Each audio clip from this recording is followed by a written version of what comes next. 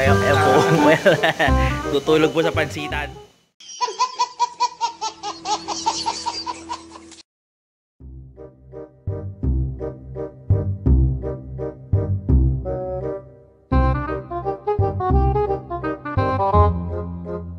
Imagination.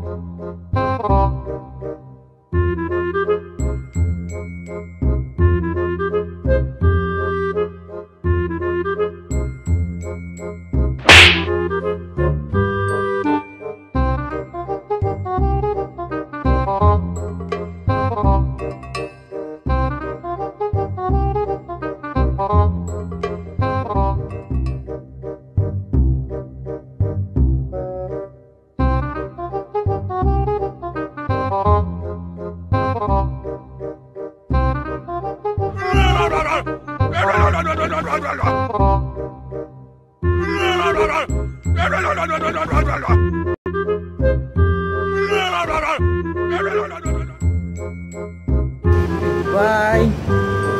Ang huling pag-out.